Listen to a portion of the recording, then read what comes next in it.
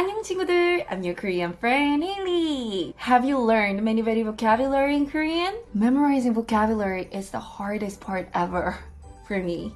But I'm here for you. Let's memorize 10 10 verbs together today. 10 verbs, we can do it. These 10 verbs is like must know. You need to know. You have to know. You should know. You you really have to know. So, let's start. Go. Go is 가다. 가다. And then if you want to change to the present tense, it's 가요. 가요. Good. Move on. Mm, listen. Listen in Korean is 듣다. 듣다. And if you want to change it to the present tense, it's 들어요. 들어요. 들어요. Move on. Walk. Walk. Walk is 걷다. 걷다. And if you wanted to change to the present tense, it's 걸어요. 걸어요. 저는 걸어요. Move on. I'm doing 먹방. Eat is 먹다. 먹다. And then if you wanted to change to the present tense, 먹어요. 먹어요. Move on.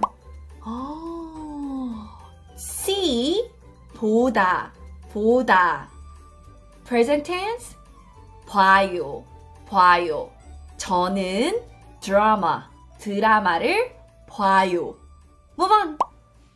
buy, buy, 사다, 사다. And it becomes 사요, 사요. 저는 펜을 사요. Move on. Let's hang out. Hang out is 놀다, 놀다. And present tense 놀아요, 놀아요. Great job. Move on. Drink 마시다, 마시다. In present tense 마셔요, 마셔요. 저는 커피 마셔요. Move on. Talk, talk, talk. 말하다, 말하다. In present tense 말해요, 말해요.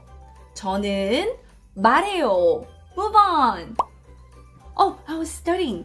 공부하다, 공부하다. In present tense 공부해요, 공부해요.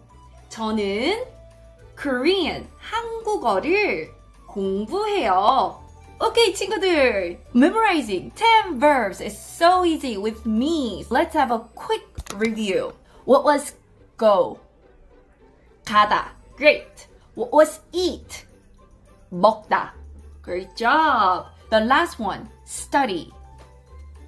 공부하다. Wow, great job. You got 3 out of 3.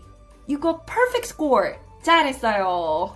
Let's memorize vocabulary with me, Haley. Let's go. Okay? 친구들, did you enjoy memorizing 10 verbs? Great. If you like it, and I will come back with the 10 adjective as well. See you next time.